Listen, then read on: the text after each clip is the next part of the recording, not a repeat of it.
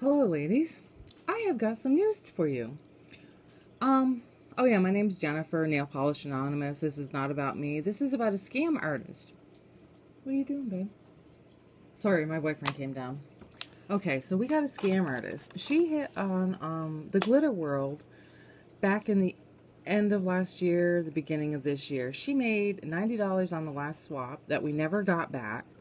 And she got um, ladies to donate almost $900 to her because she was crying, saying that she didn't have money for food, didn't have money to like, get to the hospital, didn't have money for medicine.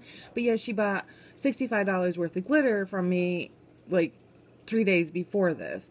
She is a scam artist. We never got our stuff back. Now she's hitting um, the crafting world. And I am going to post right now some pictures of things she's saying to people in the crafting world. And it's so funny.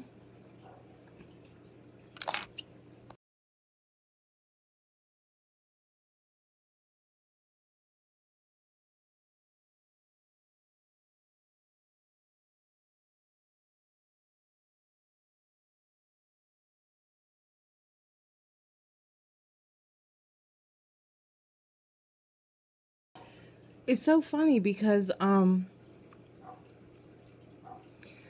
last year when she was crying to everybody about having cancer and blah blah blah blah blah um she never said anything about having a house fire and losing all her craft and stuff like that. None of it. She is a scam artist. And so bad that her she scammed her own mother. She owes her own mother money. Her mother has tried to warn us about how bad her and her wife are if they're married or whatnot. I mean, she really plays on the heartstrings. And because there's so many new people out there right now, you know, I cover the glitter and crafting world. Um, I just want y'all to be warned. I don't want you to fall for her scam. I'm telling you, scam, scam, scam. Like, I don't know. Um, oh, her name is Jeanette Wise. She goes by Jeanette and Melissa Wise on her YouTube. She used to go just by Jeanette Wise because she changed it because her mother was warning us on her other channel, Jeanette Wise. So she deleted that one. And, you know, just be careful, ladies. Don't fall for her tricks she's going to give you the biggest, saddest sob story. And that's what she does. Like, as soon as she starts talking to you, she is telling you everything that's going wrong with her, her woe is me stories. They're all lies. Lies, lies, lies. When she couldn't give us back our swap last year, um, or February, March, I don't know when it was exactly. Um, supposedly she was in the hospital and she was dying of cancer, blah, blah, blah, blah. Well, she, I had a friend contact Melissa and say, you know, can we get her room number in the hospital so we can send her flowers? And nobody could get that room number from her. You know why? Because she wasn't in the fucking hospital. She's a scam artist. Watch her. Watch her well.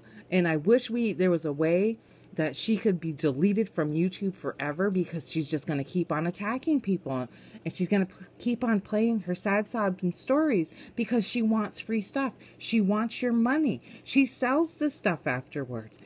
Don't fall for it. Be warned. I don't have anything else to say, but be warned.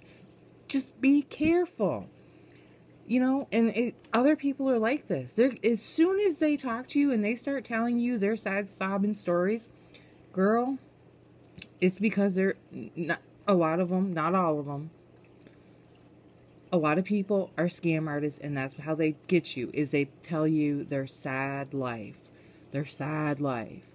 I mean it's pathetic but whatever. Just be careful.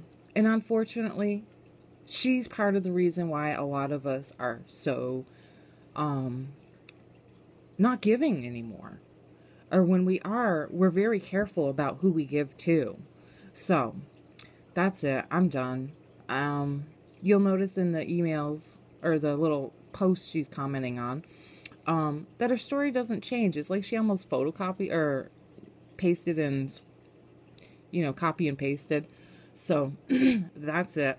If you have any more questions, y'all know my email. Talk to you later. Bye.